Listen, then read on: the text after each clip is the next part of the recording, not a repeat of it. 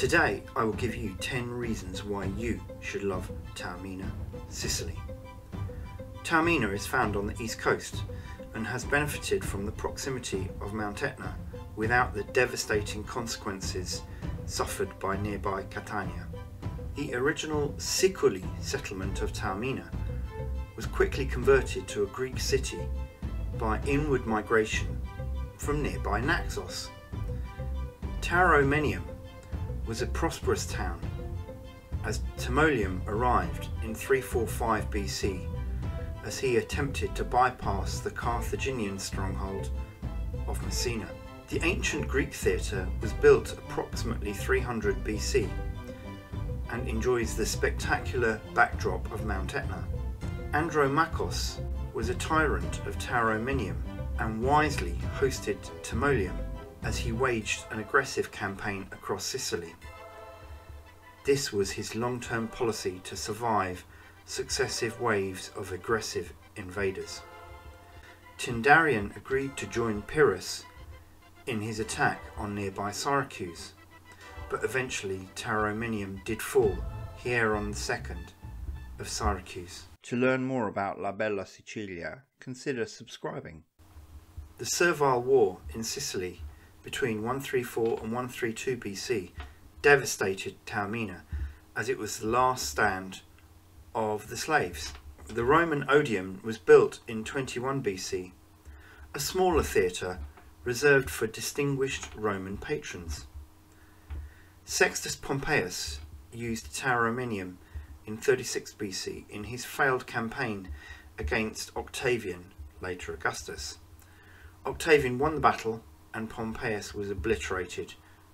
Augustus colonised Tauromenium with a more reliable Roman loyal population.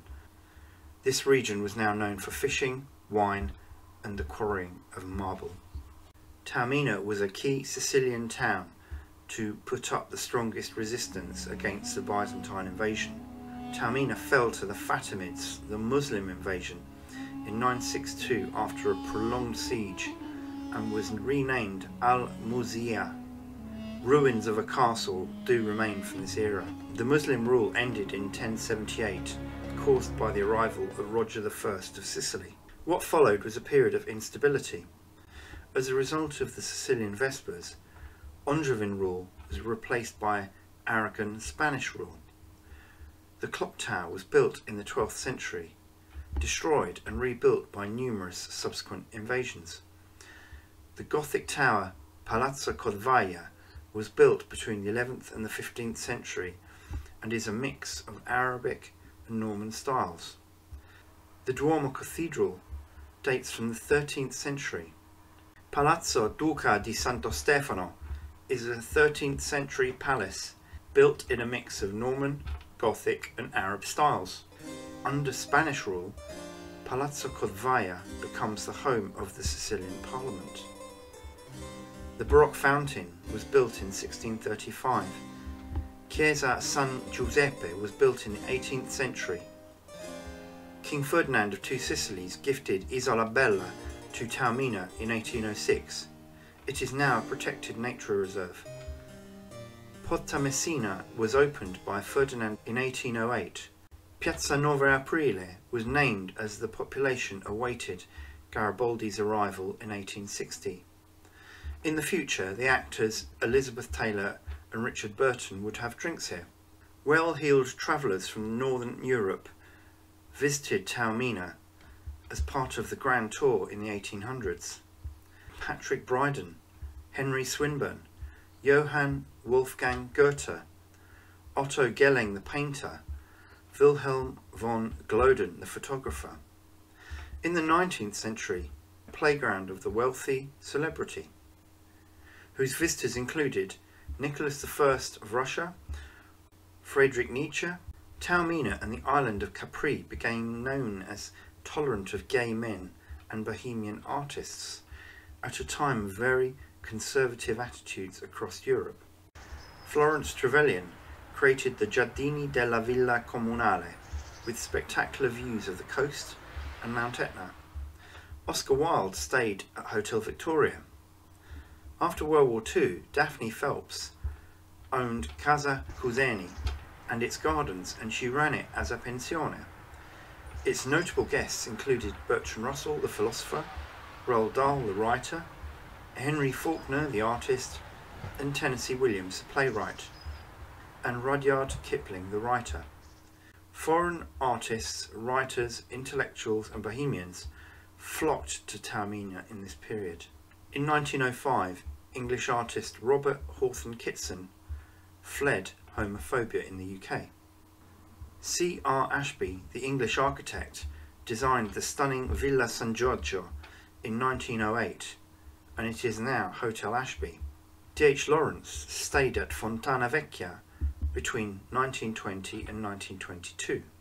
A train station was built in 1928 to manage the growing numbers of tourists. Other notable guests are Kaiser Wilhelm II of Germany, Gabriele D'Annunzio, the writer, Gustav Klimt, the artist, Sigmund Freud, the neurologist, Edmondo de Amicis, the writer, and of course Ernest Hemingway, the writer. The Grand Hotel Timeo is the oldest hotel in Taormina, and its famous guests included Empress Alexandra and Richard Wagner. The writers Truman Capote and Jean Cocteau, Federico Fellini and Francis Ford Coppola, the directors, the actors Jean Marais, Greta Garbo, Cary Grant, and Gregory Peck. Villa Monrepo was the famous night spot in the 60s, whose patrons included Martina Dietrich, Robert Mitchum, Shirley MacLaine, and Dionne Warwick. In modern times, Jim Kerr from the pop group Simple Minds owns Hotel. Numerous artistic and cultural events take place each summer. These include the Greek Theatre, which hosts opera, theatre, and classical concerts. Taormina Arte celebrates music, theatre, and dance festivals.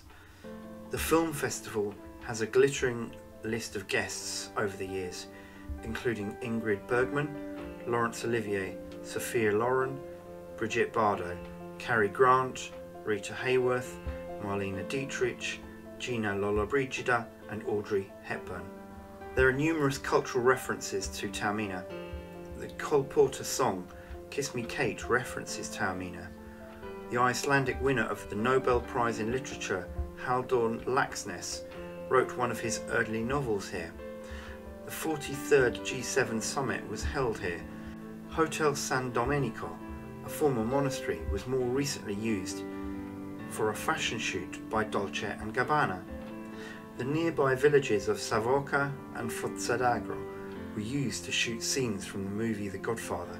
Numerous films have been shot in Taormina itself, including Godfather 3 with Al Pacino and Diane Keaton, the movie Big Blue starring Jean Reno.